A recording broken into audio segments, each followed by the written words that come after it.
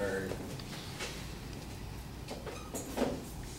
take a deep breath first. You know, relax. All right, so identity is something really difficult to like narrow it down, right? Something that you can't really just tell somebody that this is what you are, this is what you're not. You got to really kind of figure that out for yourself. But what happens when you have a campus that's throwing out all these type of identities onto you and trying to impose their try to beliefs on you, and you really just don't identify with that group? So that brings me to my argument today. The, D, the EWS department is significant in specific. The Chicano Latino program has a significant negative effect on the, on the student body of Cal Poly Pomona. I'll be addressing these issues on three different bases. One, the EWS department, specifically Chicano Latino program, affects CPP negatively. The second will be the Department of Chicano Latino, Latino program harms the growth of the Latino Latina student body on campus. And lastly, the EWS department Chicano Latino program creates a rift between the Latino Latina students on campus. Going on to my first point on how it affects CPP negatively, First of all, we have we have like a cultural center called the Cesar E. Chavez Center. Now, the Cesar E. Chavez Center, that on itself is already synonymous with the Me with the Mexican culture. It's not really significant for the whole Latino community or Latina community. So people start feeling outcasted, people start feeling marginalized, people start feeling like, do I really need to be walking in there if that's not really how I identify? The, the second part to that is saying that high, for higher education, why, why does it have to be for higher education? Why can't we all just be on an equal playing field? It's kind of difficult with that. Second, the reason that this this links to the EWS department is because the EWS department is the is the prior source that supports this cultural center. And in supporting this cultural center, it already aligns itself in saying that everything that this that this cultural center does and predicates and everything that it does, they're going to be standing by it and supporting it.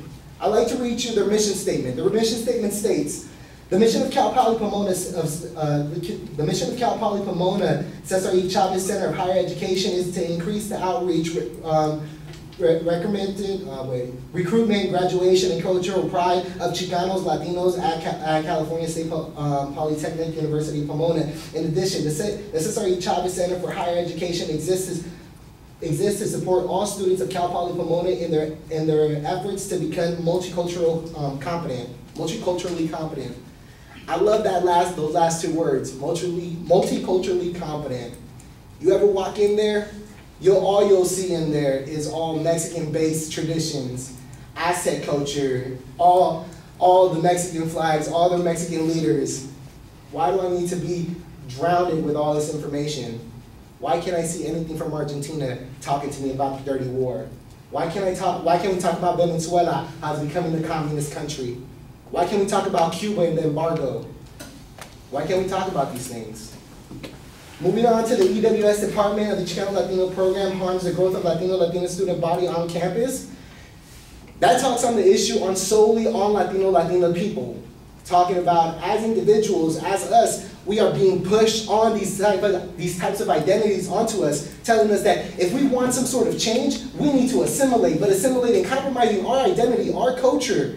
So, and that's the only way that we have a voice, that does draw a rift and it starts becoming the us between them. It cap oh us. You see, me personally, I'm not Mexican. I am an, I'm Ecuadorian. But as soon as you see me walk into a room because of my dark complexion or because of my face, y'all already start assuming that I come from a Mexican descent. And there is no question about it. You would have you you would not be exposed to any other country, so you have no reason or basis to be like, oh, he's probably from Salvador, or he's probably from South America. Nobody would tell you that. You're not being informed here. And then for the Latinos and Latinas, they're just being put, they're put in a position that we can't even voice our opinions. We can't be doing these things. And if we do work with like the EWS department or if we do work with the Cesar E. Chavez Center, all we are put in a position is that we have to compromise our morals and be banned with the flag of Mexican pride behind us or this Chicano identity that they want to impose on us and say that you have a voice, but you need to put this flag behind your back first. Going on to the last to the last statement of the EWS Department of Chicano Latino Program, it creates a rift between Latinos and Latinas in the student body. It's true. As you see me right here, right now, I could have just waited and done this on my own. But I'd rather just expose it just for the fact that I got a camera on me and it'll probably be on YouTube and I'm gonna tell a whole group of people just watch this and these are my arguments and you're gonna listen to me regardless. so, so the value, the value statement on this is that me personally, as an Ecuadorian, there's nothing on this campus that identifies as myself. Anybody from Salvador will be, distaste, will be distasted with any type of education that's going on. Furthermore, if you ever take a Chicano Latino, a Chicano studies class on this campus, they use militant language to make you understand that their voice is what matters. Their struggle is what's important. They still use nationalism to make sure that they spread a statement. Nationalism is not a good thing. It's good to start a movement, but to keep it going, you need something totally different. That's not the case here. Looking at an article from looking at an article from UCLA from the UCLA News Press, it starts to state that elementary Chicanos have not succeed, that, that do not succeed are about 10%, and the ones that go to college are about 5 So they're already making it normalized to the student to the student body or anybody in general that as a little kid, you're already a Chicano. If you're Latino, if you're a Latino or Latina. So if they're already imposing these ideas from you, coming from this whole, from this state of academia, coming out of the EWS department, it's already harming us because we're not we're not learning about any other cultures. So when they try to boast about some, sort of like unity, some sort of coalition, some sort of movement together, it's all BS. It's not really about making a movement. It's about preserving one idea, erasing everyone else, and if you want a voice, come join us. If you don't, you're on your own. Well, speaking from the population that's alone, I am challenging you. I am telling you these things, and I do know your theories. So if you do want it, we can do it. That was only for the camera, though.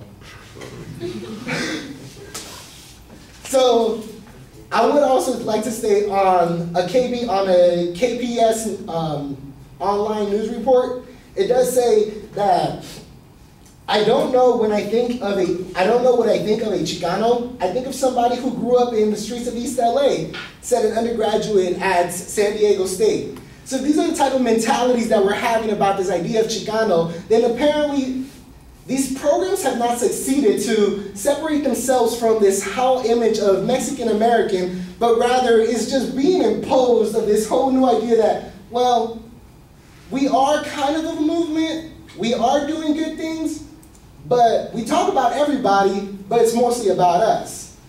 So I'd like to just conclude with this thing, with this speech that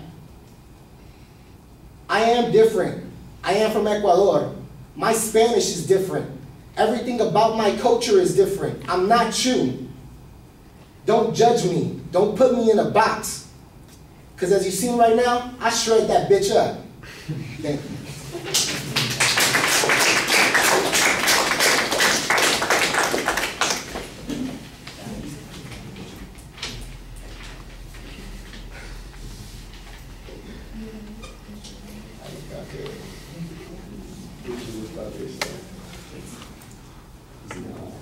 Well, Mark, what you lack in evidence, you make up in passion. and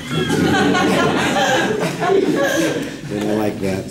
And and I don't think that you totally lack evidence, but it's very esoteric evidence. You know, you you've got a lot of firsthand experience that you're trying to relate to. You've got personal examples that you have to tell us about.